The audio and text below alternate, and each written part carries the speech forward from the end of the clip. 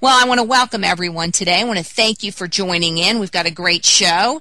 Um, addiction is one of those things that so many people say is a matter of willpower. And I say addiction is cunning, baffling, and powerful. Uh, addiction is a heck of a lot more than a lack of willpower.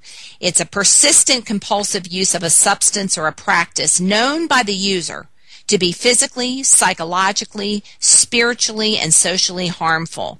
But most users are unable to stop by voluntary control. And this speaks to the issue of it being a matter of willpower, because it certainly isn't.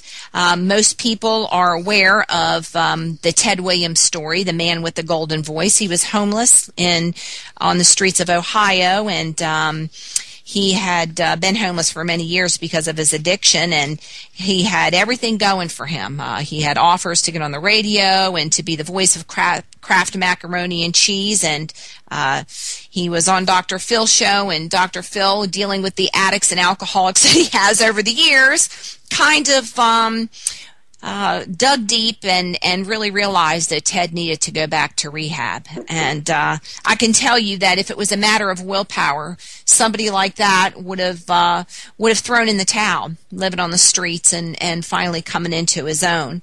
But today um, we're going to talk about that. We're going to talk about just how difficult it can be to get sober, and um, not only get sober, but just how difficult it is to stay sober.